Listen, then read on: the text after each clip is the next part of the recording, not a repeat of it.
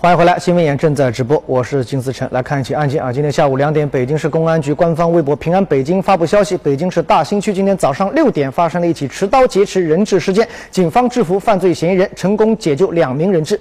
北京警方介绍，早上六点多，大兴区某酒店服务员报警，两名客人被另一名住店的男子持刀劫持。警方赶到了现场之后，发现两名客人被劫持在酒店五层的一个房间，房门被反锁，并用沙发顶住。由于犯罪嫌疑人情绪比较激。动威胁到了现场人质的安全，警方一方面安排民警与嫌疑人谈判，全力缓和嫌疑人的情绪，同时部署专业处置力量，做好攻坚突入准备。八点左右，特警队员趁嫌疑人不备，抓住有利时机突入房间，将嫌疑人控制，成功解救两名人质。现场处置过程无人员伤亡。